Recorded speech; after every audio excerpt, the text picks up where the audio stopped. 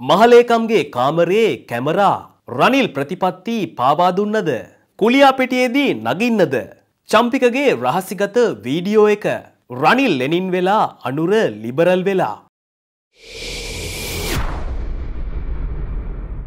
මහලේකම්ගේ කාමරයේ camera අරය යන්න යන්නේ මෙයා යන්න යන්නේ මේ විදිහට දවස ගානේන කෝල් වලින් එක්තරා පක්ෂක නායකයෙක් හොඳටම අවුල් වෙලා මිනිහ මේ ගැන ගෙදර නෝනට කියපුවාම බය වෙන්න එපා මම දැම්ම ඔකට හොඳ උපායක් කියලා. ඒ මොකද්ද බැලින්නම් නෝනා පක්ෂයේ මහලේකම්තුමාගේ කාමරේ රහසිගත කැමරාවක් හයි කරලා ලැප් එක ඔන් කරලා වීඩියෝ එකත් පෙන්නලා ලොක්කව සර්ප්‍රයිස් කරලා. හැබැයි දැන් මේ වැඩේ ලීක් වෙලා. ඒකෙන් පක්ෂයේ සමගිය හොඳටම බිඳලා කියලා තමා ආරංචි.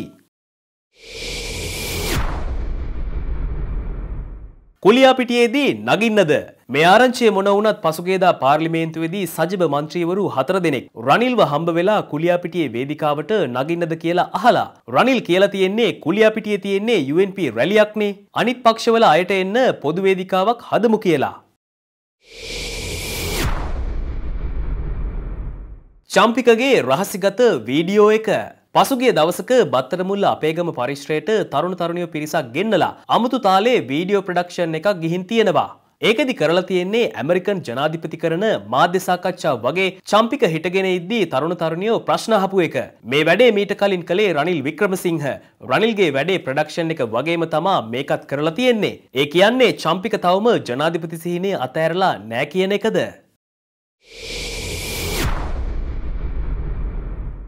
රනිල් ලෙනින් වෙලා අනුර ලිබරල් වෙලා. වරුණ රාජපක්ෂ පසුගිය කරටකර වැඩසටහනකදී මාලිමාවට කරපු විවේචනයක් වෛරල් වෙන්න පටන් අරන්.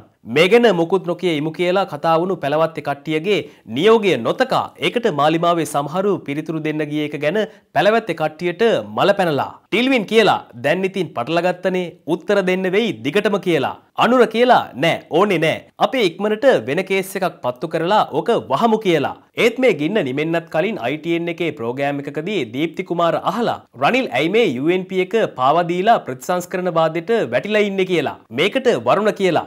රනිල් ලෙනින් වෙලා අනුර ලිබරල් වෙලා කියලා. ඒ කියන්නේ UNP එක සාමාන්‍යයෙන් ධනපති පක්ෂයක් කියලා තමයි ලංකාවේ වම හැඳින්වුවේ. බටහිර ගති පක්ෂයක් කියලාත් කිව්වා. ඒත් දැන් රනිල් ජර්මනියට ගිහින් බටහිරට දෙස් දෙවොල් කියලා ගෝලීය දකුණ වෙනුවෙන් කතා කරනවා. අනුරලා එයාගේ ප්‍රතිපත්ති ප්‍රකාශනයට ලෝක බැංකුවේ යෝජනා එහෙම පිටින්ම දානවා.